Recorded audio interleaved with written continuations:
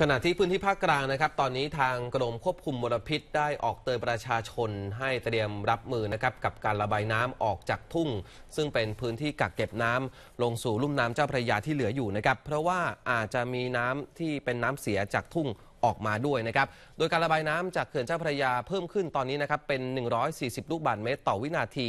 ก็อาจจะกระทบพื้นที่จังหวัดปทุมธานี จังหวัดนนทบุรี และเกษตรกรผู้เลี้ยงสัตว์น้ำในกระชังครับ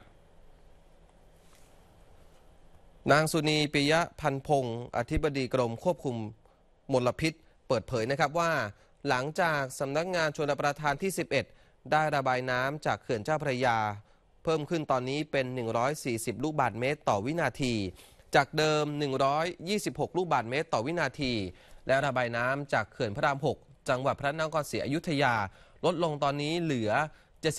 77.95 ลูกบาศก์เมตรต่อวินาที จากเดิมที่ระบายน้ำ80.82 ลูกบาศก์เมตรต่อวินาที ซึ่งกรมควบคุมมลพิษนะครับ จึงได้แจ้งเตือนให้เตรียมรับกับสถานการณ์ในพื้นที่ที่อาจจะได้รับผลกระทบจากน้ำในทุ่งที่เน่าเสีย ในจังหวัดปทุมธานี จังหวัดนนทบุรี และเกษตรกรผู้เลี้ยงสัตว์น้ำในกระชัง ก็ตอนนี้นะครับก็มีการแจ้งให้คัดเลือกสัตว์น้ำที่มีขนาดใหญ่ออกมาจำหน่ายก่อน พร้อมทั้งเฝ้าระวังสังเกตอาการของสัตว์น้ำ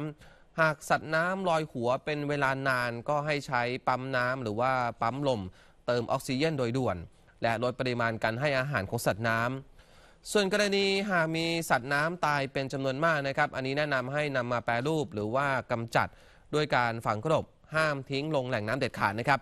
ควบคู่ไปกับการขอความร่วมมือผู้ประกอบการอุตสาหกรรม ตลอดริมลำน้ำและคลองย่อยใกล้เคียง ให้ลดการระบายน้ำทิ้งในช่วงนี้ด้วย และขอให้หน่วยงานท้องถิ่นและประชาชน ร่วมกันเฝ้าระวังการระบายน้ำจากแหล่งกำเนิดมลพิษครับ